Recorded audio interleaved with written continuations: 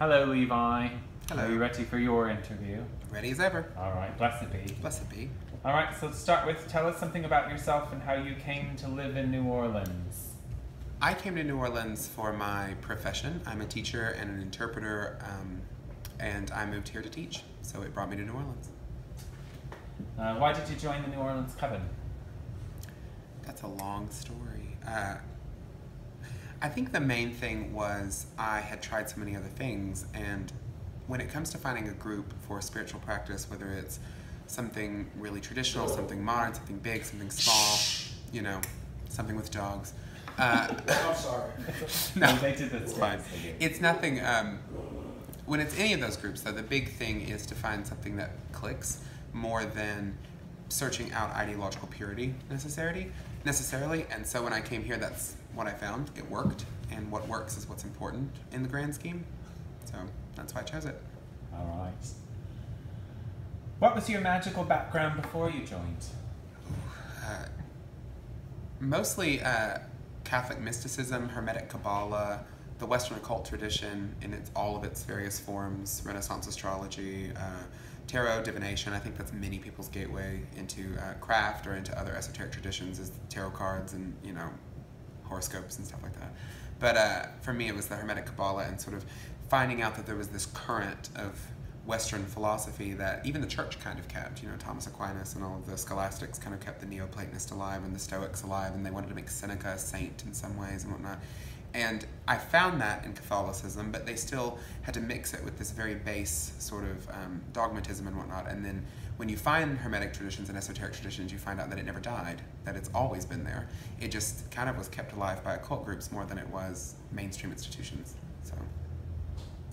What does being Alexandrian mean to you? Uh, it means being a priest. Uh, most esoteric traditions do not have the mythos that we do, which is that all members are priesthood. Uh, that is a particular British craft thing. There's no such thing as a laity, and I think anybody interested needs to know that, and that it's very important. So if you come into it, you should approach it the same way you would if you were telling somebody you were going to go join a seminary for four years, or you were going to, um, you know, go live in Nepal on a mountain and you know become ordained as an abbot or whatever.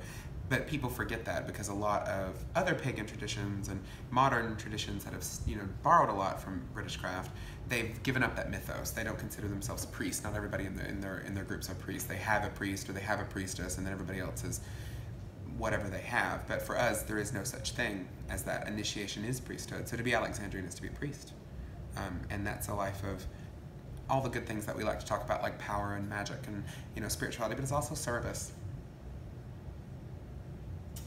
Can you share with us a personal magical success story? light as like a like a really good game of light as a feather stiff as a board or like a wonderful ouija board experience like uh, that one time that we were sure it was liberace no um, i think i think the word magic is very off-putting to people outside of the occult and i think that we in the occult forget this so we think that we get so used to using this word that we forget that in modern society it's it's you look like a kook. I mean, if you start talking about your magical success when you, you know, healed a friend or or made the plants grow or got rid of the mice in the house or whatever, like you read in books. And so I'm careful with that word sometimes, but I do think it is successful. Um, what I think is the most successful thing about it is that you can literally transform yourself and your life. Like you don't have to, um, you don't have to make it something that is Harry Potterized in any real way. It can be just transformative and i like that. That would be my biggest success story is that you just decide what you want to be and you do it. And i know that takes a lot of things out of the equation like oppression and things like that but it's still agency matters and a belief in magic in the western sense kind of keeps that alive. Does this dog make you happy that I don't actually raise human beings? I'm Is gonna- he spoiled? I love your dogs. Do you think he's spoiled? most of the time you think there might be something wrong with him? they're adorable by the way Uh, they're really cute dogs Yes, but this one might have a little bit of a crazy attitude. Um, who are your top three goddesses and why? And He wants Ronaldo. Um, they all do. like late 90s madonna no um No. no uh I? It's a sin. No, um, I think, well, first, ours. Our goddess is my top goddess, like above all others. Um, you know, we have our own names for our goddess. We have our own uh, culture, our own mythology. Um, I think it's very important that we draw from classical mythology, Celtic, Hellenistic, Greco-Egyptian, whatever. But it's also important that we have our own. And I don't care how modern it is. You know, modern. The fact that whether it's modern or ancient is irrelevant to me. It's true. Um, truth with a capital T. So uh, she's number one, right? And then two All of and three. you got very I just got very bright, right? See, I'm blessed. I am chosen by ours. I spoke for her. You're all heathens. You picked some foreign gods, and you, no, uh, I didn't. You didn't. Um, She's number one in all of her incarnations. All goddesses are one goddess. do you have any other favorite? Uh, if I had to pick like named goddesses, uh, Diana is huge. Um, uh, Isis, the Egyptian Isis, um, especially in her like Greco-Roman uh, guise. Uh, all the Cel- I'm really into Celtic mythology. Uh, I love um, the goddess as Cerridwen, as the Cauldron Keeper. I love her as uh, you know Danu of the fields and all that. Um, the mother of the Danube River, the mother of the Celtic people. So um, I like all of that. Who is your favorite witchcraft elder and why?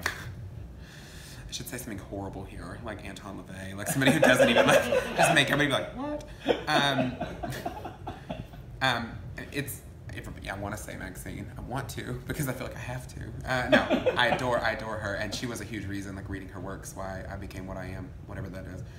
Um, and it would be sycophantic for me to say that my favorite are my teachers. It'd be you know I get I'm not an elder. I know, I know, but I'd get brownie points. Don't even pretend that you wouldn't be flattered. like, if I was like, "You are my favorite above all others, great teacher." No, um, of course Maxine and Alex, but if, Yeah. if I if you take them out of the equation, because it's kind of not fair, right? Um, actually, it's Gerald and Doreen Yeah. and Patricia. I mean, it's the Gardnerian elders because the liturgy, everything, it's so much tied into them, their history, how brave they were. If people forget that, they always think of them as these kooks in the 50s and 60s, and it wa- wasn't like that. You know, they were really um, doing something that meant a lot. You know, they lost their jobs. Yeah, the skin, right? One of the, um, in case you're wondering what he's talking about, there's a great quote in an interview with Gerald Gardner at the British Museum of Witchcraft where some guy asked him, what is the costume of a witch? And he just goes, the skin.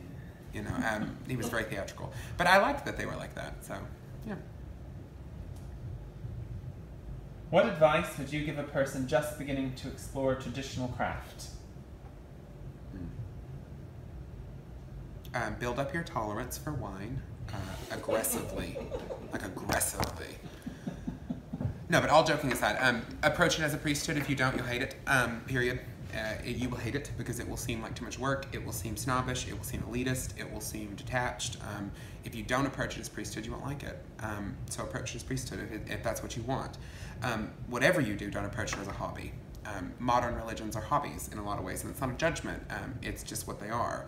Uh, you know, if you think about the shallowness of certain, not all, but certain converts to, for example, um, Buddhism in the West, where it's very much an image and it's uh, it's all about how you feel, and there's no actual approach to the philosophy. That's not true. There's many people who are very devout in it and you know do amazing work, but there has been this rise ever since the '60s of viewing religions that are not necessarily new, but new to the Western, you know, Western Christendom or whatever, as hobbies, something you pick up. And I think if you approach it like that, you're going to hate it. Um, but if you approach it as devotion, service, priesthood, power, religion, all of that, and truly see it as, um, for lack of a better word, a cult, like um, you'll you'll like it. But that's what you have to go into it with. You will like it. You will like it, right? Uh, in regards to craft, describe a pet peeve of yours. So many. Like no, uh, no, I'm not. I don't. Uh, my biggest one, and this I think might not be a popular opinion, is um, is actually a pet peeve of the entire occult world, which is that it's um, they have no perspective. I actually had a talk with somebody recently about this. Uh, very very deep talk. Uh, one of our coven members. Um, I, I'm very grateful that before I, I was a priest, I was a Catholic, a very devout one, very, very devout, and then left that and was a very angry and bitter non believer, right? So I traveled in both of those worlds the fanatically dogmatic, the fanatically material, you know, materialist in the philosophical sense. And I had that perspective of we're all kooks to these people, every one of us. Um, everyone about everybody in this room that you can't see people you know in this video, but everybody who's into the occult, magic, whatever, you're all kooks. Like welcome. Uh, and we lose that perspective, and so we start saying things like, "I would never be British craft because it's not real. Um, it's not real the way trad craft is." And then somebody says, "Well, I would never be trad craft because it's not real because their books are poorly sourced or whatever." Crowley's the real deal. Thelema's the real deal. Oh well, no, he's not the real deal because he did drugs or because he had issues or because he was a misogynist or whatever um, okay, well, Crowley's not the real deal. Where, well, Voodoo and Santeria are the real deal. Well, not only if you go there, not here. So it becomes this game of, uh, and what they lack is this huge perspective of outside of this world, there is no difference. Crowley and um, and the most like the lowest basest form of neo-paganism that's sold to the masses on bookshelves, they're the same thing. To an atheist, secular humanist of the modern age, we're all the same. We believe in crazy stuff. We think Harry Potter's real. Um, you know, we watched too much Buffy growing up, or whatever our sin was. You know, um, like that's what they think about us. And I think it's important to remember that, so that you don't lose sight of. You know, find something you love in the occult and the craft, and do that. Don't try to find the real, the secret, the oldest, the most powerful. It's, it doesn't exist. The most powerful people in the world are not occultists. They're, um, you know, they're, um, they're Wall Street hedge fund managers, and they don't believe in anything but themselves. Um, and you don't want to be those people, or maybe you do, but um, I don't. And um, you just don't. I mean, I don't. I don't want to be those This people. may be my favorite video that I watched. Thank you. I'm trying my best. So yeah, so that's my biggest pet peeve. Have perspective. Remember, this is all made up nonsense to most of the world, but it means something super important to us. So latch onto it.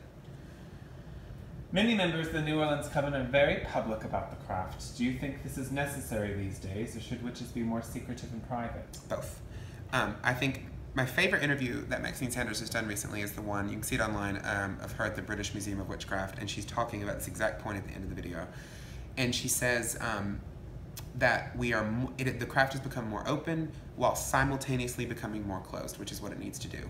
We need to be super open in the sense of like we're here, we exist, we're proud of who we are, we have this lineage, we're not going to let it die, we're not going to let you know the elders go forgotten or whatever.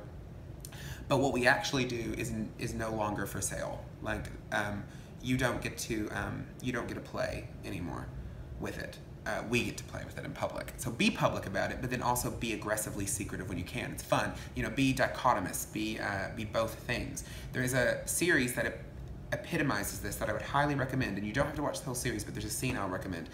It was called The Young Pope, and it's Jude Law, and um, it's a British show, but I think I think it's on HBO or Showtime in America, and it's about this very young American man who gets elected by the cardinals to become pope, and it's Jude Law, and he uh, he he's a fanatic, like a fanatic traditionalist. He brings back the papal tiara, he brings back the throne, um, and he shuts down the Vatican. No journalists are allowed in anymore, and he becomes an overnight sensation. He's a massive celebrity all of a sudden because he's mean and closed off and secretive, but also popular. It's a game, right?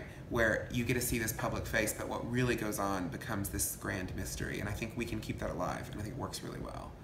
Um, too That's public. sort of contrary to these videos.